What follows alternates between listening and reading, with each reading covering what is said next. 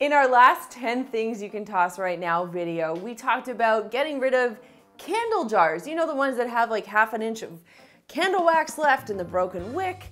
And we asked you guys to leave us a comment if you wanted to see how to reuse these jars and how to get rid of the wax at the bottom because some of these are actually quite pretty. I mean, this one doesn't look gorgeous right now, but trust me, after it gets cleaned, it's gonna look great and it can serve a lot of different purposes around the house. So this week, I'm gonna show you three different ways that you can get rid of the wax and then some creative ways you can repurpose these guys. Just a quick reminder, if you haven't done so already, to subscribe to the Clean My Space channel, and if you like this kind of video, this DIY stuff, give us a thumbs up because it helps us know that you guys really love what we're doing. I'll take this first candle and put it in the freezer. This is a super simple method, and it'll take about a couple of hours for the wax to shrink just enough so I can pop it out. Now some people say to leave it overnight. I'm not gonna do that. I think two hours is more than sufficient for this candle. Now when you pull it out, if it's not loose enough, get a butter knife in there, wedge it around, and that should help loosen the wax up so you can easily pop it out. For any remaining wax or soot, you can just give it a quick clean in your sink. Use a little bit of dish soap, a sponge, some baking soda, you know, the usuals. For this second candle, I used the oven method. I turned the oven on to 400 degrees Fahrenheit and I lined a broiler pan really, really well with tin foil. You wanna do this so that none of that wax gets all over the rest of your broiler pan. Then put your candle upside down, that way any of the melted wax can actually pour out.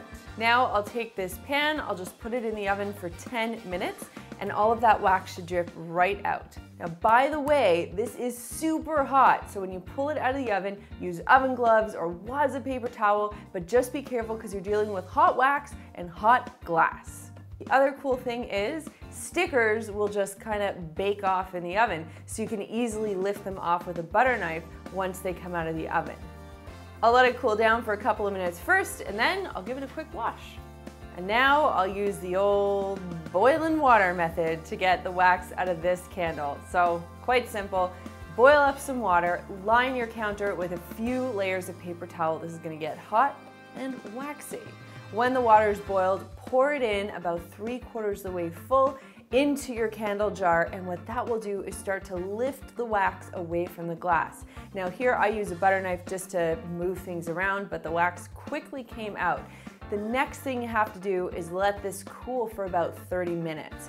Reason you want to do that, you don't want to dump the water down the sink because it's going to have wax in it, which is really going to screw up your drain system. So let it cool, let it separate, throw out the waxy part, dump the water, clean out the jar, and there you go like people, candle jars come in all different shapes and sizes. And there are so many cool things you can actually do with them. And now that you know how to clean them out and make them look brand new, the world's your oyster.